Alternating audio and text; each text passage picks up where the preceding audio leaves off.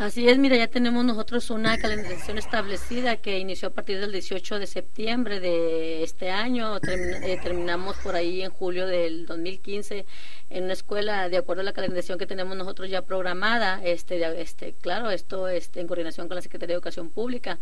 Eh, no lo tenemos diariamente porque tenemos otras actividades que yo ahorita les voy a platicar un poquito de eso. Eh, pero sí estamos teniendo como de entre tres, dos y, cuatro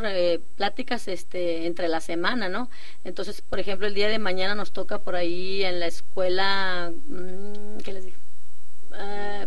Emiliano primaria Emiliano Zapata este y bueno digo este nosotros estamos eh, hablando sobre los temas de seguridad personal estamos ahorita más enfocados en lo que son las redes sociales ya que de ahí este estamos viendo no que surgen o, este varias situaciones donde las personas a través de, de, las redes sociales los jovencitos niños porque nosotros comentamos en las escuelas el oficial que me acompaña a dar las pláticas ella les pregunta por si a, a quintos sextos años a ver cuántos de ellos tienen cuántos de ustedes tienen Facebook y les puedo decir que la mayoría de los niños levanta su mano cuando digo es alarmante no el hecho de que los niñitos de, de 10 y 11 años 12 ya tengan un Facebook y no se sepan manejarlo, no están este, ahí muchos vigilados por los papás, porque digo, lo digo con el conocimiento de causa, preguntamos a los jóvenes, a los niños, y nos dicen que muchos padres, o sea, desconocen que ellos tienen un Facebook. Ellos dan toda la información, ponen hasta, si tienen hasta un teléfono celular,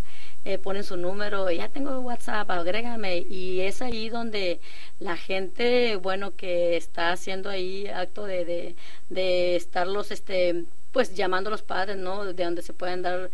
situaciones como secuestro o, diferentes eh, situaciones donde el niño, el joven, este, pueda estar en una situación de riesgo. Entonces, eh, estas pláticas es precisamente con la finalidad de prevenir ese tipo de situaciones. Y pues por supuesto que nosotros este, estamos abiertos a cualquier situación que pida la dirección de las escuelas.